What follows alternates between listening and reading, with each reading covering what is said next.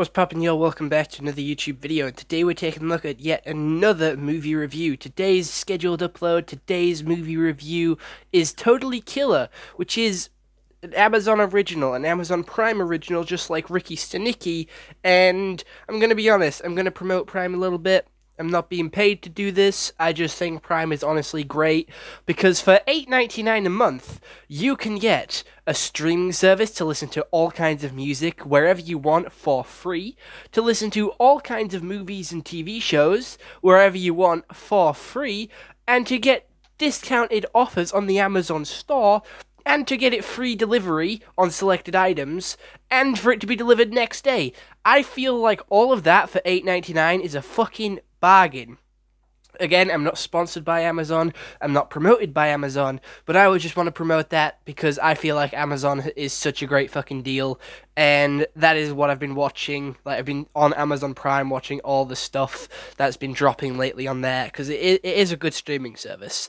So let's actually get into it to Totally Killer, a movie that came out last year and that we actually covered a little bit with the news videos here on the channel. So, 35 years after the shocking murders of three teens, an infamous killer returns on Halloween night to claim a fourth victim when 17 year old Jamie comes face to face with the masked maniac. She accidentally time travels back to 1987. Forced to navigate the unfamiliar culture, Jamie teams up with her teenage mother to take down the psycho once and for all. So that's what Google has to say, but let's actually get into what the plot was. So there is going to be spoilers ahead, but this movie came out last year, but you have been warned. So we have our main character, Jamie, going to a concert with her friends. Her dad drives her there, and her mum gets killed. Put to put it bluntly, to put it simply, she comes back and she is then chased and hunted down by the killer, and she ends up going back in time with her friend's time machine, which her mother was originally building until she gave up on it. So when she goes back in time, she tries to find her mum, who who is actually one of the mean girls. She's like, you know, the mean popular girls who's very bitchy and very asshole like to everyone else and she then decides you know what finding her mother isn't what we need to do. So she goes looking for her friend's mother who actually originally built the time machine and you know what she's the only one that believes the time machine is real she helps fix it, she helps the Wi Fi, and for whatever fucking reason, her phone stays on for like three days without running out of battery. It's only on like 53% when she gets there, but over the course of like two to three, maybe four days even, it only goes down to 33%. And then that 33% magically, out of fucking nowhere, is only gonna last the next seven hours. Compared to the rest of the battery life, this this one's only gonna last seven hours. So that just puts an extra like time threat to it, but she tries to stop all these murders and she keeps changing them because she's changing the past. She tells them all she's a psychic and the first friend does die. She fails to save them. They then do everything in their power to stop the second one, but fail. And then they do everything in their power to stop the third one, and fail. So the first one dies on a waterbed, the second one dies in a log cabin, and the third one dies in a Halloween attraction, even though they were all prepared. However, the killer came back in time to finish his job, because the first killer was killed by these teens, which was the, like, nerd dude who becomes the principal. Which I thought was really fucking weird and came out of the fucking nowhere. He did not seem like the killer at all. Like there was there was no sort of suspect at all. There was no build up, there was no dramatics. I, I don't understand why they chose it to be him there was like one red herring and that was it. It wasn't really a mystery because there was no clues onto who it was because these girls were fucking assholes to everyone, and that was it. That that was all there was. That was all there was. There was genuinely fucking nothing to lead you on to this guy. He appeared in two scenes before this, and that was it. They refused to let him in a party, and he casually mentioned that he did like what kickboxing for like a year in the in the mall, and that was it. So I feel like that was a little off, but she manages to get back to her time. She meets up with her friend's mother, who has a book telling her everything that changed, and she kills the killers, both of them, the one that came back in time with her, and the other one, and that's it. That is that is all that really happened. She then also has a name change at the end, which I don't remember her new name because she went by Jamie the rest of the movie. I think it's like Courtney. And that's it. That's the movie. I'm gonna be honest, the CGI there wasn't really much, and the blood splatters did look quite real. I, I quite liked the blood splatters. They had very high end sort of blood on the walls, and when they were being murdered, the fake blood looked really good. So the makeup and visual effects pretty decent. There wasn't much CGI. The villain was crap. Like genuinely very very much ripping off Jason and Freddy, just slasher villains which don't talk. Maybe not Freddy, maybe like Leatherface and a couple of others which I, I just don't care to mention. It's it's a slasher film. It's just bloodthirsty. It's not scary in the slightest. It's not horror inducing. The horror elements of this movie are taken down like 90 pegs or two. Like, you know, they are taken down a peg, like quite a few pegs because of this time travel shit. The time travel shit is like a creative new take on horror movies, and I don't think we've had a time travel horror before other than Happy Death Day, which I feel like reliving the same day over and over again is kind of like time travel because you get to redo it over and over again. And yeah, that, that those are the really two only time travel horror movies that we really have that I know of anyway, to the best of my knowledge. And I'm gonna be honest, it kind of ruined it because it didn't make it scary at all. The villain wasn't ominous or scary. He kind of looked like Beavis on Butthead. I don't remember which one it is, but he he didn't look scary. He looked stupid, and the girls, not gonna lie, I feel like they kind of deserved it. They were absolute assholes to each other and to everyone else. They were just complete and utter bitches. I, I don't believe they deserve to die, but like, you know, knock them down a peg or two. Like, pour paint on them, just embarrass them a little bit. Like, you know, show them what it's like to, you know, be treated like an asshole.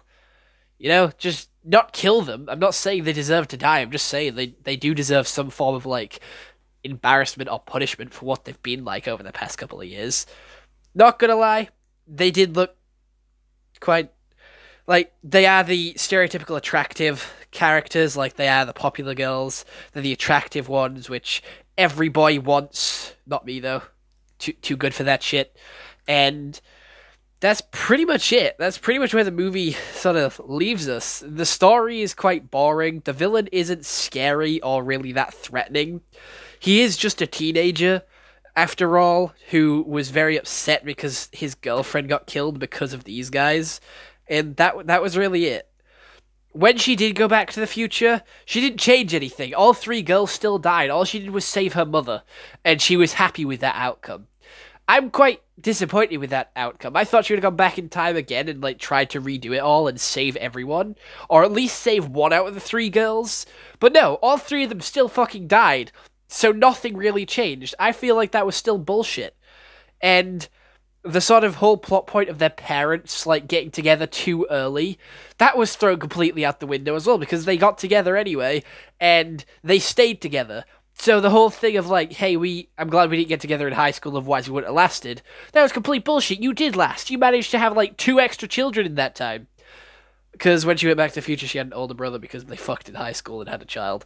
But still, she had an older brother, so they the whole plot point of this movie was like whatever you change in the past could have negative consequences in the future. Trying to save these girls is good, but if you let your parents get together too early, it could fuck up your entire life, and you don't know what will happen if these three are still alive.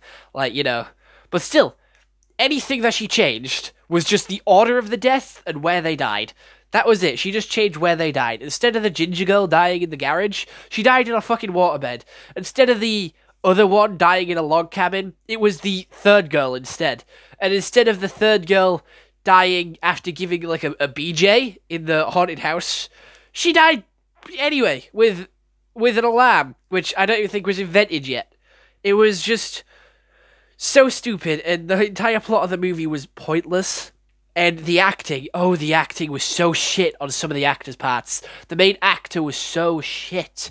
She genuinely had like no emotion. She wasn't scared any of the time. She wasn't angry. She was so sort of lazy. It was like a TikTok acting. I know I'm a TikToker myself. Link in bio if you want to go check that out. Link in the description if you want to go see a little bit more Tyler Price in your life. I have TikTok, Instagram, Twitter, Twitch, everything like that. So definitely go check that out. But she was TikTok acting, and it wasn't good like she was the worst actor in the film, and I'm sorry, this is probably like her first movie or something. I've never seen this actor before, but it she was just shit. Sometimes it's not the actor's fault. Sometimes it's just how the lines are written and how they're told to act. So I'm not putting all the blame on her, but I'm just saying, as of right now, I don't believe anyone else was this shit at acting. Like in the movie, it was genuinely her. The others were pretty good. I'm gonna not, not gonna lie, like the teens were very good. The sex scenes were over dramatic and like over dramatized and overdone, but again, they are hardy like teenagers, or they're supposed to be hardy teenagers for this movie. So I don't really know, but like shoving tongues down each other's throat was just not what I wanted to see.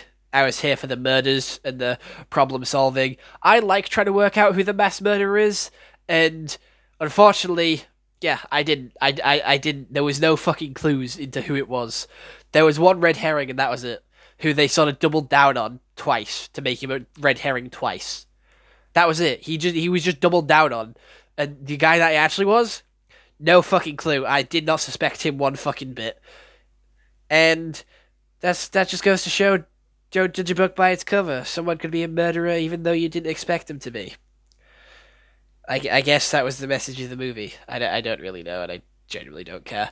It is one of the most shitter movies that I have watched, and it was kind of bogged down and ruined by all the pop culture references in the movie. They mentioned Endgame twice, they mentioned Back to the Future a good four times, they mentioned Scream, they mentioned a lot of other things that were popular around 2023 when this movie came out, and again, watching this in 2024, it's kind of like a drog, a slog, something that is like, eh, I remember when that was popular.